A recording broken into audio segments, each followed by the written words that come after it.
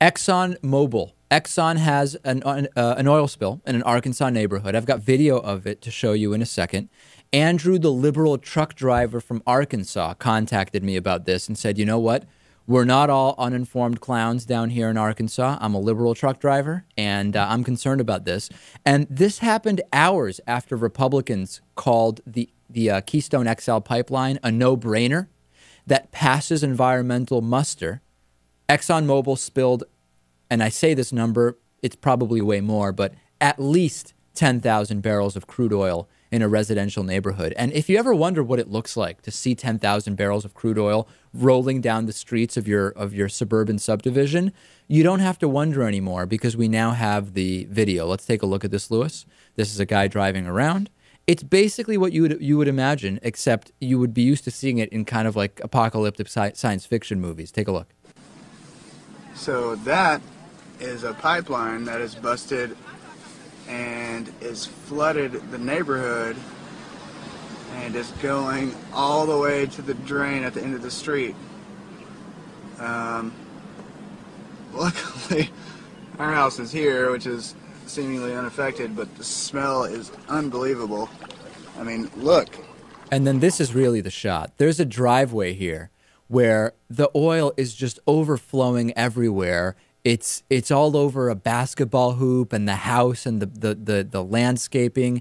Dead birds have been found covered in oil. It's a total disaster. This is Exxon's Pegasus pipeline, which ruptured over the weekend.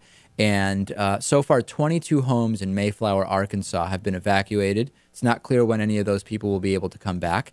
Part of the pipeline actually goes through a water source, Lake Maumelle, which provides drinking water to nearly 400,000 residents in central Arkansas. Officials claim they were able to stop the flow before it reached that far. Do we believe that?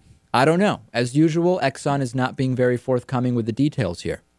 Uh, when they were asked, well, how, what was the leak? They said, well, we've, what's the term that they use? We've confronted, or we, we've encountered 10,000 barrels of oil, or maybe it's 12,000 barrels of oil, but it's just not clear really what the extent of it is. Even if you've only leaked or spilled 10 or 12,000 barrels of oil, that is still mixing in with water, et cetera, where you might have to collect 200,000 uh, barrels of uh, uh, gallons of of, uh, uh, of, of liquid. You just don't know what the extent will be, and we never hear from the companies. We're, remember, with Deepwater Horizon, within days of the leak being stopped, they had it all cleaned up. Seventy-five percent of it was gone. A year later, there were huge oil slicks in the Gulf. Right, right. Of course, they're going to pull the same type of thing that BP did. I mean, it's just um, their entire job right now is just PR, right? They they need to make themselves uh, not look as bad as they do. Maybe the new argument is this for uh, for for the oil spill problems that we're having. Do you realize how many jobs we're creating with these oil spills? We've got to bring out huge cleanup crews. We've got to bring out people to, to bring food and gas to the cleanup crews. We're employing so many people cleaning up the oil spills. Is that an idea that would work? Um, it's one that they will try to make work. Yeah. Yeah. And and this really isn't Natan about pipelines specifically. At least it shouldn't be. It should really be about more broadly the lack of sustainability that these types of fuels provide combining that with the fact that they're just not good for the environment, we really should be moving so quickly towards alternative energy, and it's really not happening very fast.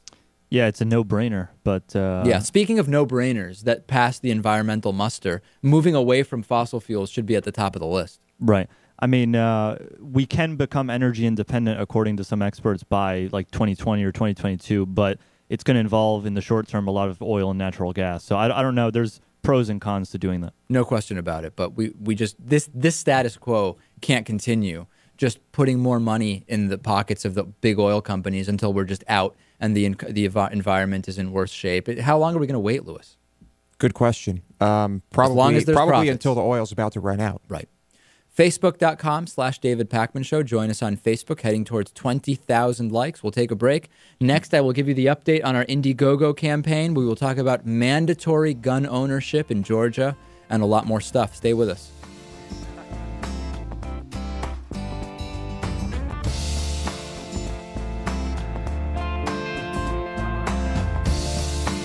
The David Pakman Show at davidpakman.com.